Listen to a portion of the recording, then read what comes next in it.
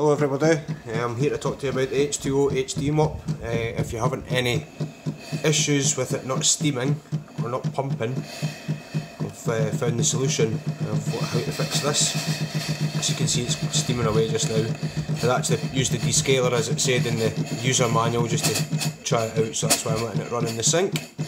Anyway, so I only bought this about six weeks ago.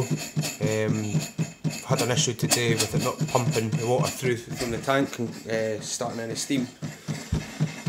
So I've been scratching my head for a while, went through the manual, done everything it said, used the the pin to clean up the nozzles at the bottom, uh, checked the, the filter, mine's are still quite white rather than brown so I know it's not that.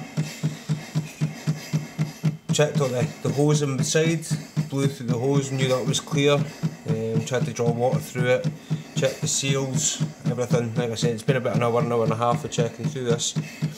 Anyway, I've looked at this vent here and the inside. So I decided to take the needle from the top of the tank and push it down in just to make sure it was free. It seemed a little bit sticky to be fair.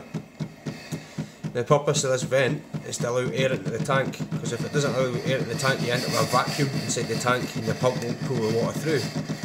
So it makes sense uh, just a wonder I never thought about it before. Filled it back up and switched it on, straight away you seen air being drawn into the tank again um, and as you can see now it's obviously steaming away happily.